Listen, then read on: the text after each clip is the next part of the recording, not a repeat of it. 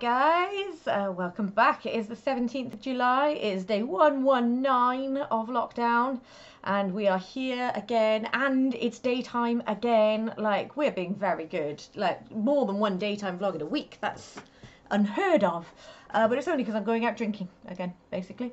Uh, yeah, uh, but I'm not venturing far tonight. After we finish vlogging, I am walking all the great distance to the other side of the street uh, to have some drinks in Harriet's garden. Yes. Um, so you're looking forward to uh, a night uh, away from the old ball and chain, I ball and gather. chain, made made some plans, God, I'm gonna watch some sports. some things I don't let him do when I'm here. Eat some fish and chips. Yep. Well, yeah, that's the kind of the archetype, isn't it? Like the the wife goes away. And Oh, she's away. I um, can can I- eat what I want. I can watch my sports. I was joking about this because Sit you went, around in when my went, pants. When we went out the other night, my friend rang up and uh, and, he, and I was like, "Oh yeah, Ellie's out. What what are, you, what are you doing?" Well, I've just finished watching a video about uh, character nuance in the narrative in the story arc of uh, the character Michael Scott in the sitcom The Office. It's actually uh, it's actually quite sweet. Hmm. So that's the sort of thing I get up to when you're not around. Be more than happy to watch that while, while I was here. That's that, that's fine. That sounds quite Uh, nice. Yeah, no, it was, Um, lovely. Yeah, I don't really think we've got the dynamic of like, oh great, they're away. Now I can do all that stuff that they don't let me do. I like I guess there might be like stuff that I like want to watch that you're not interested in, but then like I'll watch it and you'll like read while I'm watching got- it or yeah, whatever or If we if vice we have versa. to, we've got other rooms, haven't we? We don't, Yeah. you know. Yeah, but that's that it is quite a common little sort of trope, and I just wonder how true it is of most relationships because it's Hmm. like that's a bit sad if there's like li- big, huge amounts of things that you can only do when the other one's out or away. Which like maybe that's why some people's lockdown's been harder than others. Yes, you have got My shiny lips look quite shiny because I've been kissing someone with lip gloss. Who's that then? Oh, I don't like to talk about it. Was it Tom? It was not Tom uh, because we maintained social distance. Ah, I had no a kissing. friend come Yes. round uh, to visit, and we went. We walked the dog together in the woods, and we had a uh, drink in the front garden, Yep. which I wouldn't no- normally. I feel like that isn't something I would do as a It general does have rule. little Like it, dashes of chappiness about it, there's doesn't it? sort of Drinking in the front garden. connotations to kind Yeah. of drinking in your front garden, um, but I feel like um, street party rules. Yeah. You know, when it comes to lockdown, you can drink in your front gardens now, and it's fine. So The um, side gate was locked, and it was easier than sort of faffing, I suppose. Me sort of wandering through the house, unlocking the gate, letting someone through. I would just come back from walking the dog. I was a bit hot, and I just wanted to start drinking cider. But you do look all sparkly lipped now. In, instead, I, I was wondering, I, like, whenever the weather it's starting to cool down now, but it's quite a hot afternoon. Whenever the weather is like nice and hot like that, I always want to drink cider in the sun. Like that Mm. is always my uh, instinct. Like normally, if I can't hide from the sun, the one thing that I think is good about the sun is I can drink Like a a nice nice, refreshing cider. cider Yeah. in it, and the sun and and the heat and the coolness of the cider complement each other. Yeah, right, that's what I, can always see want to do. But then, Then say- it's the I'd middle of the day, and you've been drinking cider. Yeah, nine times out of ten, I end up like feeling a little bit like you know because something about drinking it in the sun seems to make it hit you harder. Well, I think it probably actually does, because you're probably a bit more dehydrated than you would be because you've been hot and sweaty. So actually, maybe the alcohol hits a And bit then- quicker. I always end up feeling just slightly fuzzy. Do you know what I mean? It's not. I don't feel sick. I don't feel, but just slightly like ooh, and a little bit oh.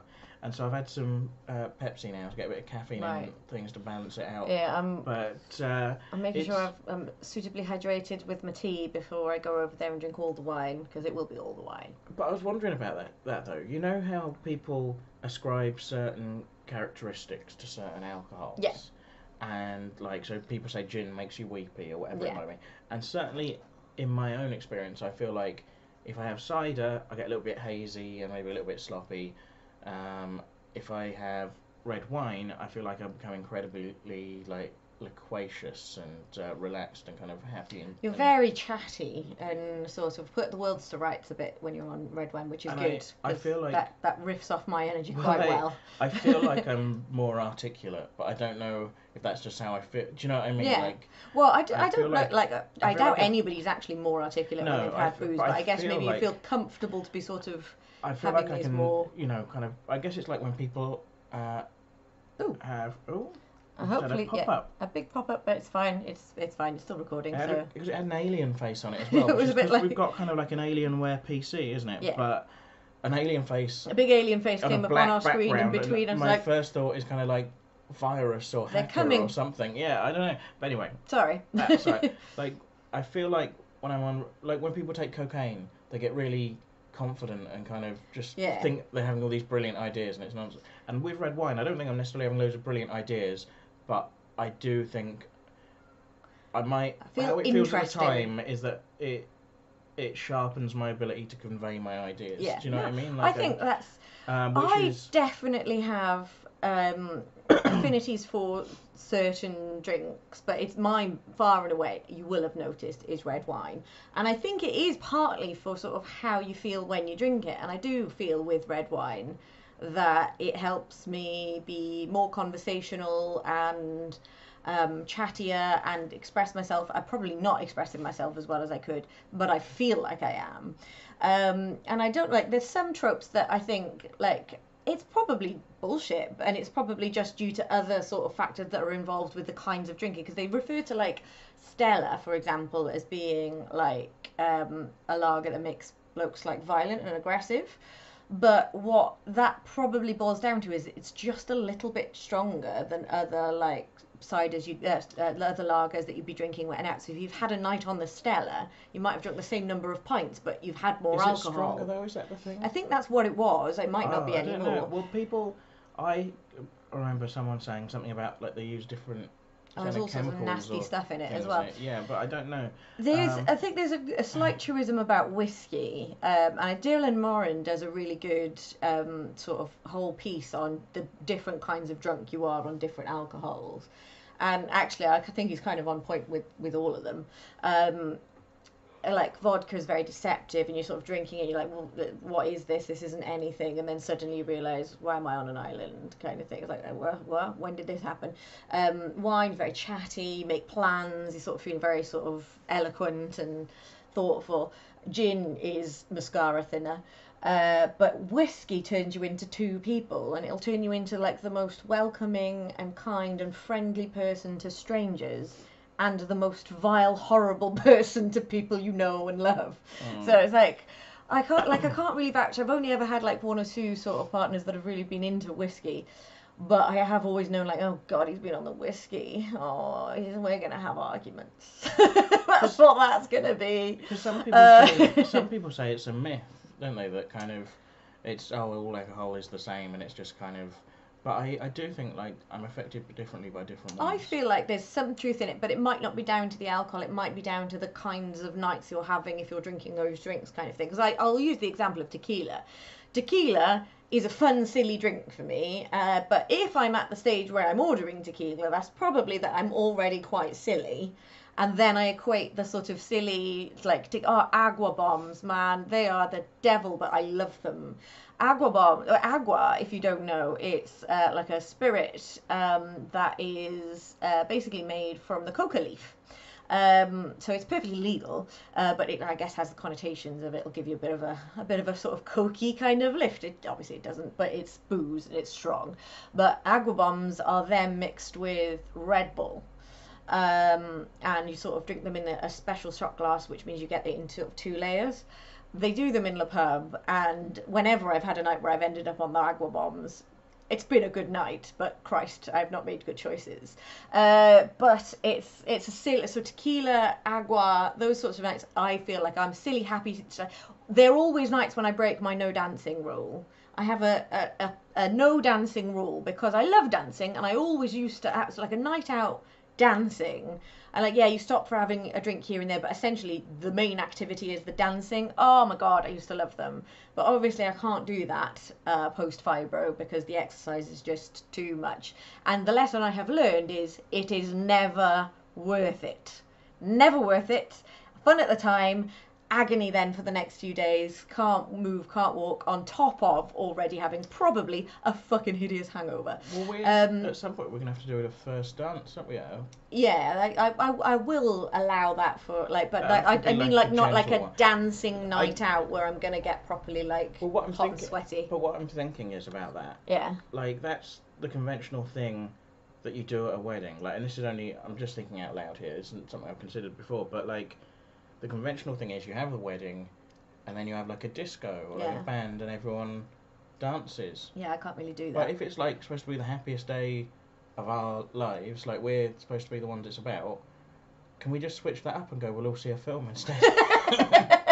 That's not very sociable, is it? and, though? and But, like- now let's welcome the c- the happy couple into the auditorium to take the first bite of popcorn. like, I, um, yeah, well, no, I don't mind. Other, like. I think it'll probably be quite a fun atmosphere to have music and have other people dancing. But it's just, I will be very clear, probably quite early on. I'm not going to be dancing all night because put it in the invitations. Yeah. Get the information out there. just it's Get not going to happen, guys. Well, do you know what? I say that it's never worth it.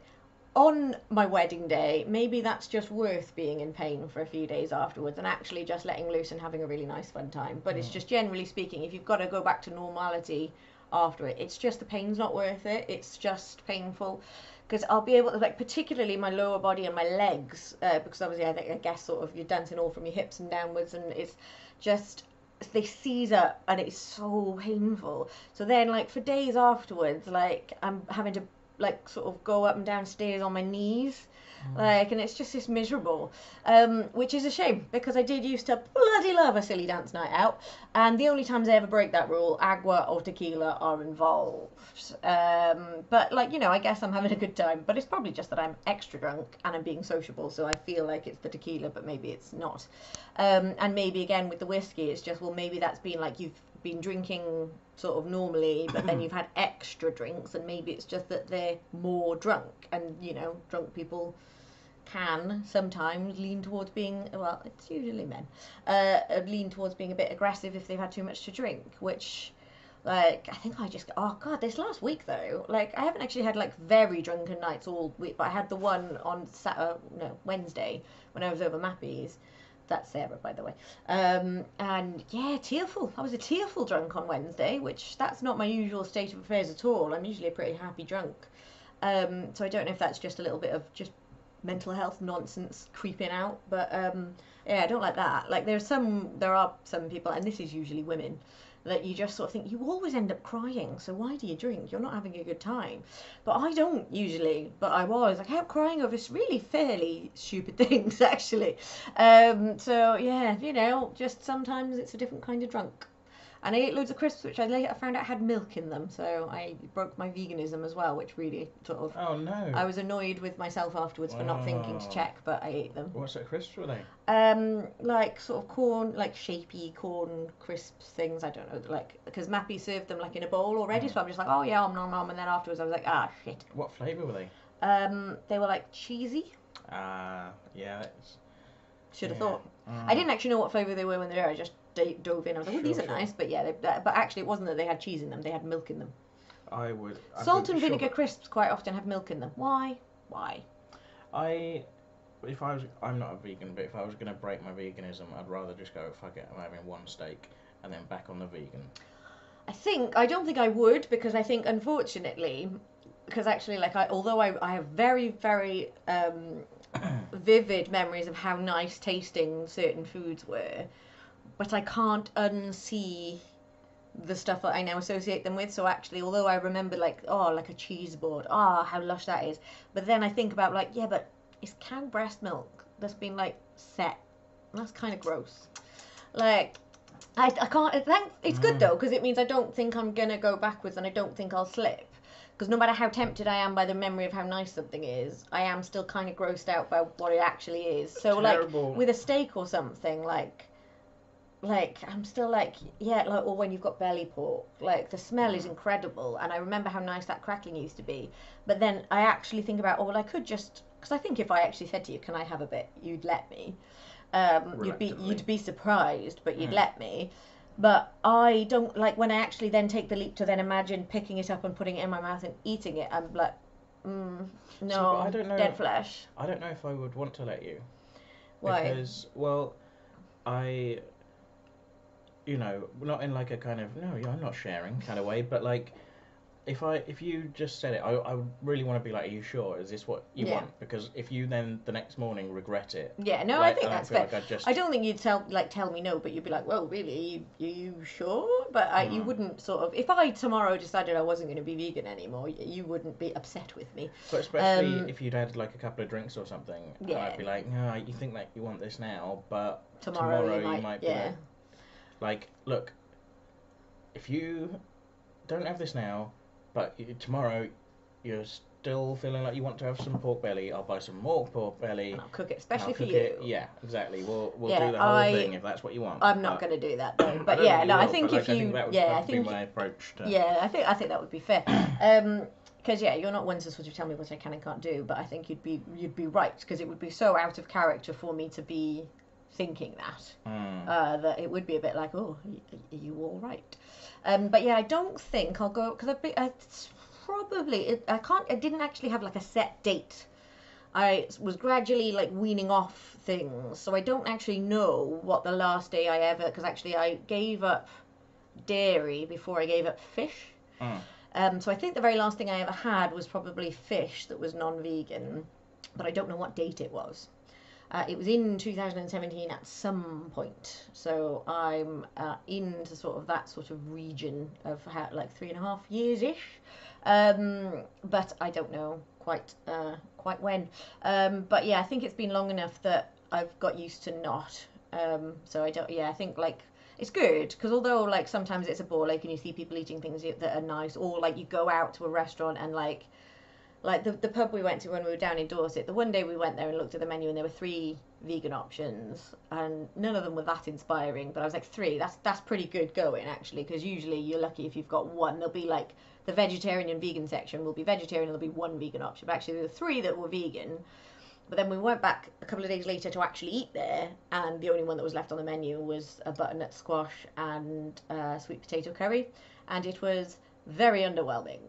Um, and it was just like, mm, yeah, this tastes like sort of lots of ingredients you've popped in a pot together, but there's no real thought as to sort of any depth of flavour or sort of anything used to make it creamy or or like it's basically like yes the the th- the prerequisite for this meal is it is vegan not it is tasty. um, but you know, like it's fine. Generally speaking, at home it's not an issue, and out and about it isn't usually an issue. It just becomes tricky when you're sort of slightly in less control over what the options you've got. So in bit limited. restaurants or uh, other people's sort of occasions like weddings or something, or um, special events where you kind of have to like state your dietary requirements and you know you're going to be brought out. Because also, I'm actually quite a fussy eater about certain things like. And vegan options are always mushroom based, and I don't really like mushrooms. Well, my previous long-term girlfriend um, was a vegetarian, as you know, and um, and you're vegan now, and so I, as like an omnivore, but who nonetheless has to eat with a Mm. vegan or a vegetarian, and so has to kind of choose sort of restaurants and, and places to eat out accordingly. Mm. Uh, I have noticed a shift Mm. in you know in, in the right direction in the Oh, last yeah, uh, decade sure. and things, but nonetheless it's Yeah, well, actually, I'm pretty ha- like I, I'm hugely impressed at anybody who managed to be vegan like in the 70s and 80s, and there were some, but like it's it it would have been really difficult then. That would have been lots of very plain, very bland. And I, I think that there's still a perception that kind of hangs over that People think. It's vegan food's changing, going to be health food, and very much no. Yeah, I don't eat vegan health it. food. I Look at me. People either people go, oh, it's all going to be health food and it's going to be horrible. It's all going to be lentils and dals and Mm, and falafel and and it's going to be miserable. mm.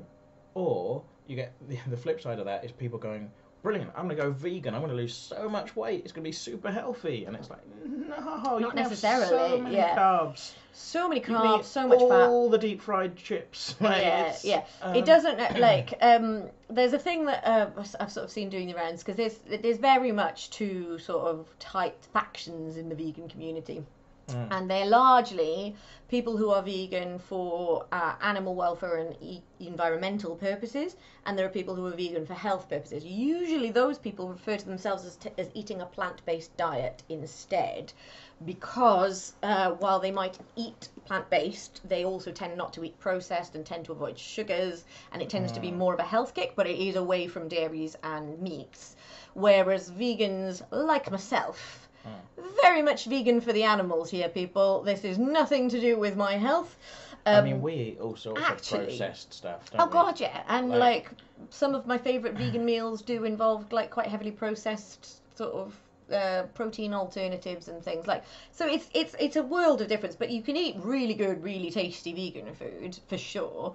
Um, I still really enjoy my food. Actually, I have noticed, and it's hard to sort of say. I can't sort of say for sure. Definitely, a vegan diet absolutely helped, but I can say that since going vegan, my health has been the best it's been since I was first diagnosed. But I had made other lifestyle changes around the same time because it was the first time I was working for myself, and I think that helps with my mental health, which then probably helps you be more active, which then helps with the fibro and lots of things. So I'm not going to go vegan. Will being vegan will cure your fibromyalgia. I'm not going to say that, but I will say it really helped mine. Um, it's certainly added into sort of uh, being healthy. I think avoiding sort of um, things like sort of too much dairy, I think, is, is a pretty good idea for most people anyway. I think people tend to eat too much because it is it's very fatty, but it's also it's it's rich in animal fats and it's sort of quite bad for your cholesterol and it's they're not like very healthy fats to be eating a lot of. Um, but that being said, uh, like you know, I used to eat loads of cheese. I get it; it's really tasty. They actually sort of say it, it is equivalent, like it's almost as addictive as genuinely like controlled substances. Well, here's the thing, right? If I buy like a thing of brie now, Oh. I have to I have to eat that whole thing, don't I? Yep. Because you won't share it with me. Poor you. But like that's terrible for my waistline. Would you have shared it with, uh, like, you just don't buy it then if you're worried about your waistline? No, but I still want some brie. Uh, um, you can buy the little stupid little ones that you could put in like packed lunches, the ones that are like individual triangles. Yeah. They're quite good. But they're not necessarily the most cost cost effective though. no, are they? and also the they like I, I used to remember sort of with brie. Actually, getting a big chunk of brie is better because then you get enough of the melty middle bit Hmm. And not quite so much of the rind. Whereas with the small triangles, you're getting quite a high rind to middle bit ratio. Because what I want to do, I want to do that thing where you like get a whole wheel of brie, Mm. and then you slice up garlic and like push that down into it, Mm. and then you put twig, sprigs of rosemary in it as well, hmm and then you bake that all in the oven. And I you, thought that was more traditionally camembert that you'd do that with. maybe you would do that with camembert. Mm, I've had camembert I that way. And then just to, ripping up fresh bread and dipping it on. Yes. Yeah. uh, willing to kind of go camembert if that is what people do. I'm okay with that. But uh, but certainly people do bake a brie as well. Mm. I think I gave my parents like a, a cheese baking dish once for Christmas. Um, I tell you what I've been. Wasn't even on my list to talk about any of that. Well, I tell you what else I've been doing today, Ellie. What? it's always weird when you use my name. Um, like, sorry, because I'll tell you, I'll, Chris. I'll explain. I'll explain to you why that's weird. It's because normally just uh, between the two of us, I, I call her Keith. so it is weird when I say Ellie. I, I know that you uh, know her as Ellie. That's why I use her name. But she finds it very strange because she's used to Keith now. But um, tell you what else I've been doing today, Keith. I've been reading problematic Oh, comic does it have to be Keith? Uh, Um, problem. Oh yes, you did tell me about your problematic I comic books, and actually I have some thoughts on this. But yeah, do explain why Well, it- they're problematic because Well, I have some thoughts as well, so it'll be Mm. interesting. We can exchange some thoughts because uh, I didn't set out. I didn't go. Oh, I'll, I'll read something problematic. I read something that I thought was going to be very innocent. Mm. Um, like basically Stan Lee and Jack Kirby's original Fantastic Four comics from the 1960s right.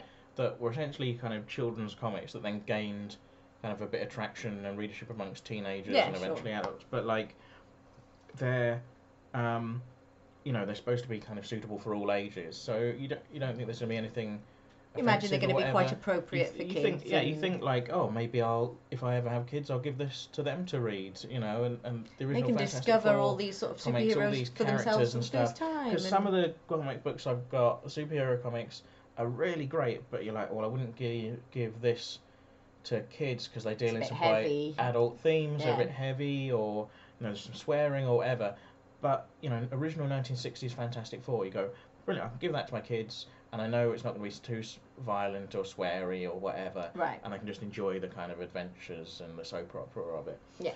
Um, but then I'm reading these, and there's a bit where Johnny Storm, the Human Torch, he's gone off on his own for a walk, and he spots an attractive woman, Mm. and uh, he tries to approach her, but she like creates a distraction and disappears. Right. So he's, he's missed out on meeting her, but and he's a bit gutted because she's uh, very pretty and everything, but uh, he wants to meet her. So he does what anyone would do under the circumstances. He goes back the next day to the same location and hides in the hope that she comes back, uh, and he waits there for an hour for her to appear. Now, when she he does appear, he then tries to approach her again. He says, "You're so pretty, you know, everyone should get to see you," or something like to words to that effect. And then, and then he pursues her even after she asks him to leave her alone and says, "Please." Um, and he I've got continues- thoughts. eventually, he wins her trust by lying to her. Um, What does he lie to her about? so she's an inhuman. What's that? I know it's a whole thing. All right. So, well, she's an inhuman, mm. um, which are people. Oh, I can't. I, I don't even know. Uh, Okay, don't explain the so- Inhumans bit. But he isn't. In, it's a bit like the mutants in Right, X Men, but right. different. Okay. So imagine she was an X Men. Yeah, imagine it's X Men. For the sake of argument, she's an X Man. She's Right. a mutant, Right. and uh, he and she's got superpowers because of this. Hmm. He reveals himself to have uh, superpowers. Right. Now, because he's got superpowers, Hmm. she goes, "Oh, you've got superpowers. Why didn't you tell me? I didn't realise you were one of us." Right. And he goes, "Oh, yeah, I'm, I'm one of you." Um, oh, but he's no, you- not he's not. right. He's a superhero. He's he's got powers got for different powers reasons. different Right. reasons. Okay. And so, but he's like thinking, "Oh well, I'll go along with this and see where it goes." And so he's essentially lying to her to gain her trust. Yeah. Um, which is not great. Counterproductive. That. No. Um, yeah, no, so this actually, like, obviously, like that in it, you're sort of thinking in and of itself, oh, well, we've seen that sort of story a million times, it's harmless, but actually, because we've seen that type of story Mm. so many times, that's why it's not harmless. I find that really ugh, gives me the heebie-jeebies because what that does, and I've seen it for myself with men I have encountered, with men my friends have encountered, um, so most of which actually I think are coming not from a like creepy dominating place, but are coming from a I'm trying to be romantic place. But have a tendency to make grand gestures and sort of or pursue, the pursue you even if you've sort of backed off and an example like, I will have give To, I have to win her over. I have to win her over. I have to prove to her how much I care. But what usually that means is by eh, the way in which I, they prove to you how much they care is by ignoring your boundaries. So a good example of this, which I, I, I I could name basically, I think every woman either this has happened to them or it's happened to one of their girls. But um, having broken up with somebody or having like in a in a relationship and had just had a fight or whatever, uh, but you don't live together, and them sort of sending messages or phone calls being like, please let me come over, I want to talk this through, let me come over, and go, no, I don't want to see you. And then what happens? They turn up with the flowers at the front door, and like every single film, TV program, and children's story has been telling men to do that to prove to women that they care. We don't want you to do that. We live alone. You turning up at our house on when we're on our own and you're unwanted is very much creepy, not romantic. Because essentially it's saying, you say no, I say I'm doing it anyway. I encroach on your space despite your protestations, which suggests that my grand gesture is more, more important than your boundaries. Hmm. And I don't actually hold it against guys for thinking that way because it is essentially what they've been told to do from childhood. So, yeah, it's problematic. We need to change the narrative because we need to sort of have. Uh, yeah, it might be less of a romantic story, but boy meets girl, boy likes girl, boy asks girl out, she says no. They have a beautiful friendship and they live happily ever after as platonic friends. Like, that's fine, isn't it? Like, also because it leads to the kind of um, the pursuit and that I'll just keep trying I'll just keep hitting on her and I'll just keep sort of displaying my interest um, and eventually she'll cave which eh. but essentially what happens is um, guy hits on you, guy hits on you, guy hits on you, and literally saying things like, I am not interested. This is never going to happen. I don't see you that way. I'm sorry. Can we just be friends? This is not happening. Doesn't work And then, unfortunately, the really creepy and really unfortunate thing that does work, the only thing that often does work, is saying that you have a boyfriend. Because then, suddenly, this man's respect for imaginary man he's never met kicks into gear, and then he leaves you the fuck alone. It's like, why is my word that I don't want to fuck you not as valuable as somebody else is already fucking me, so it would be disrespectful to him to keep pursuing To be clear, though, I'm not an imaginary man.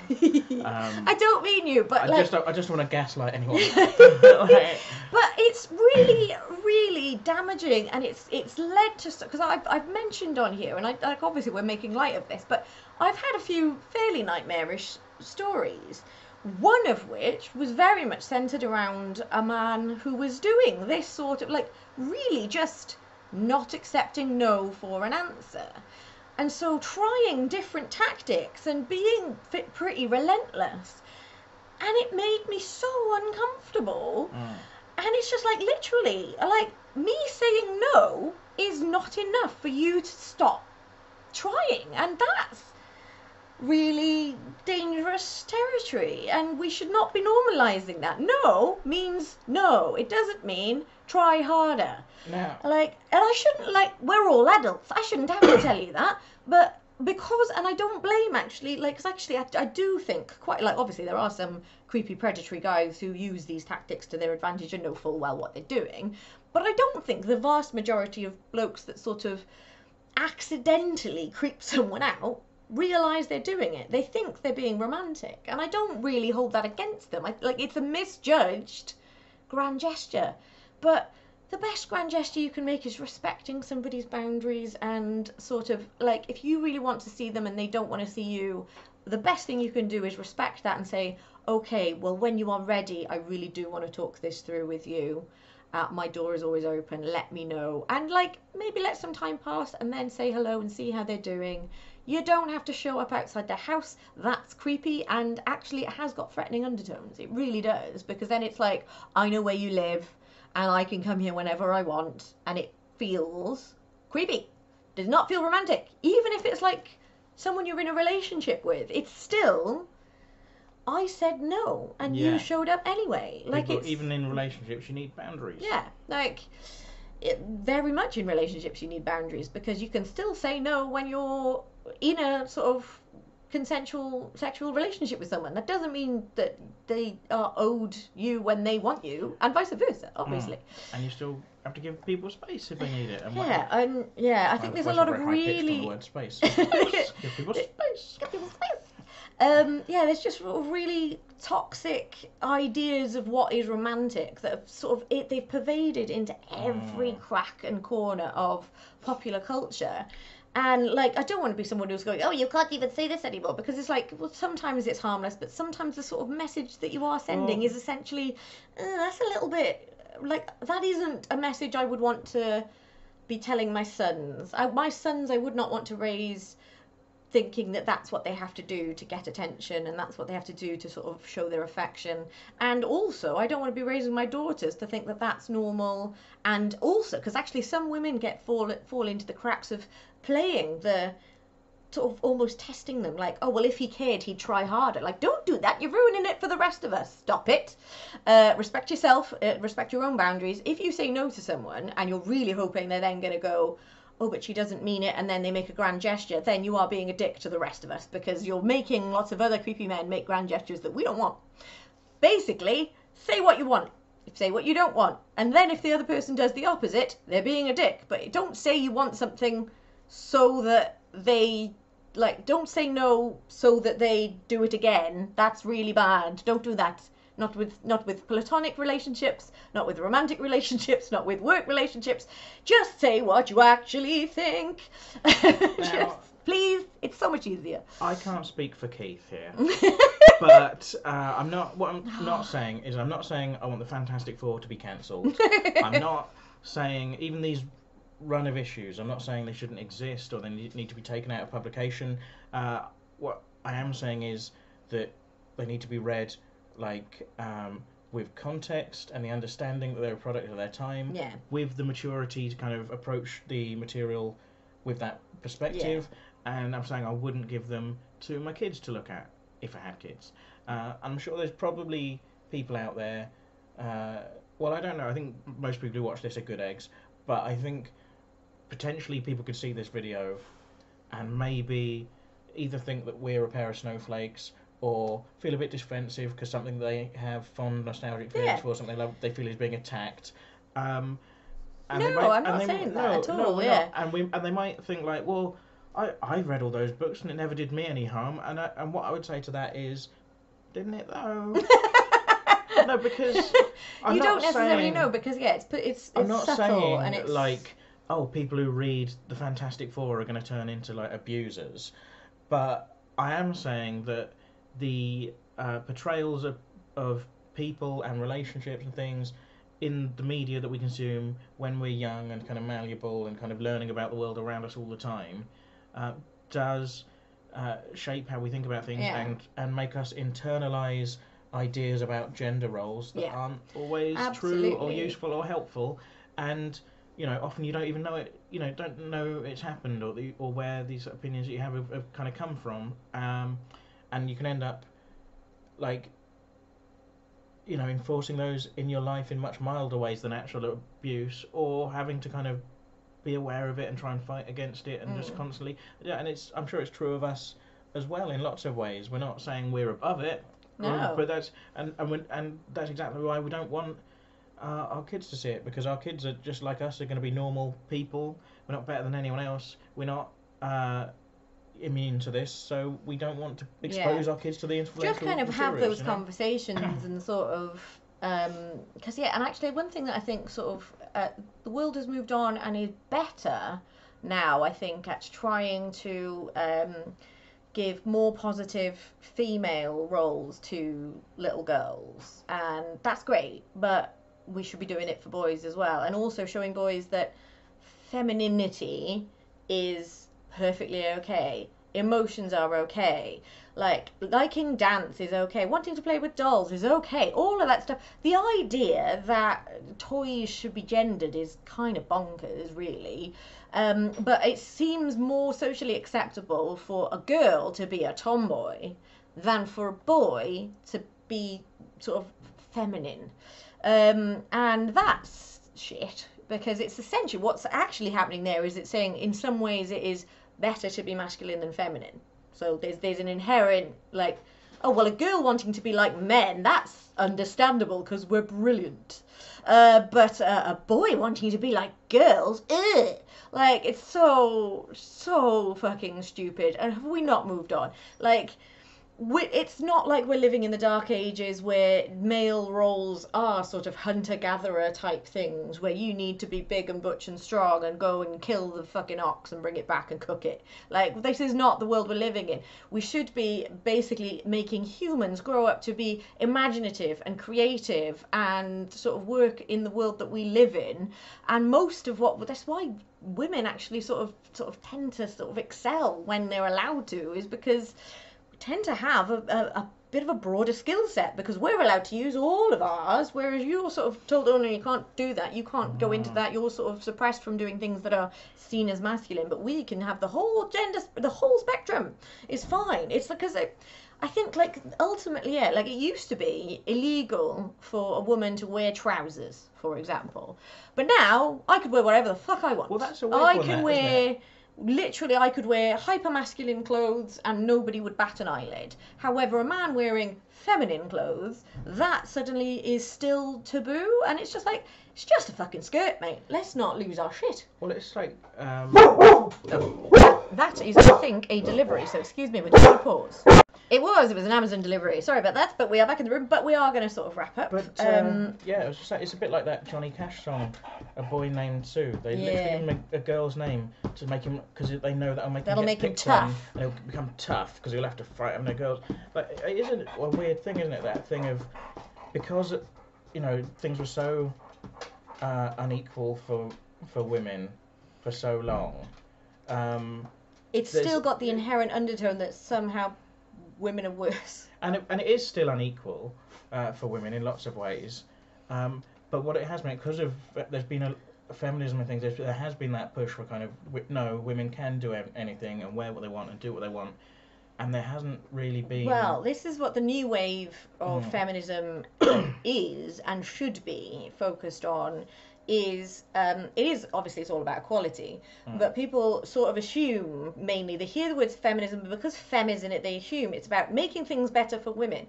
It's not anymore. It, previously, that was the main aim because it was well, we want the vote and we want to have It like reproductive. necessary. Yeah, we want to have reproductive rights. We want to be able to leave our husbands if we want to without becoming destitute and that sort of thing. So previously, yes, it was mainly about bringing women up to the same level of sort of social status as men. But what has fallen by the wayside, therefore, are sort of things that actually are much worse for men than they are for women. Mental health is the main one uh, that springs to mind, like because of all these like really, really damaging sort of stereotypes about men don't cry, man up, all of that bullshit that basically men that are struggling uh, with emotional or, or mental health issues really feel they can't talk about it, which is why the male suicide rate is so much higher than the female suicide rate, which is a fucking travesty.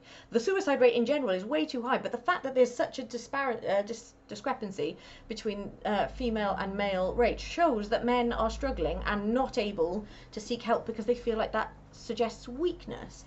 Also, you've got like some bullshit sort of discrepancies in um, childcare issues and custody cases that the assumption is that the mother will be a better parent than the father, and that's not going to necessarily be the case. Of course, it's not. Um, and just the, the general assumption um, like sort of I know of a couple that um, the the woman earns significantly more than the guy. She earns big bucks, uh, and they had a baby. Uh, and you can you can share the parental leave now, which is brilliant. So she went back to work after sort of taking a little bit of time off to recover after birth, and then the fella was the principal caregiver, and people give him, oh really, you're you're the principal? Why? Why is that then? And it's just like, because I'm a father, and it made sense. like that that should be enough. And nobody would bat an eyelid if the woman doesn't go Mm. back to work, but the bloke doesn't, and suddenly suddenly it's like, oh, he's that's weird, and it's like, no, it's not. Grow up. Uh, so yeah, so basically, grow up. is, is, my, is my point of view on that. Um, we're all like we're all, we can all look after each other, and I think gender roles coming into sort of whether or not you can be emotional or creative or imaginative bullshit. Um, and yeah, what I can wear is up to me. Uh, what you can wear is up to you. And anybody else who's got fucking issues with that can uh, have a little word with themselves. and neither of us make a lot of money, so we're both going to stay home and be primary caregiver. Let's do that. Yeah, Great. yeah. Get me pregnant. Right, off we go. Uh, I think that was aimed directly at me, not instruction to I you, w- the I- viewer. I, was telling you, wasn't Oh. I? No, I'm telling you. Um, but anyway, so that we're on that on that bombshell. Um, follow our instructions. Come on. right. So uh, in the interim, uh, like and subscribe. There's, no, shame in it.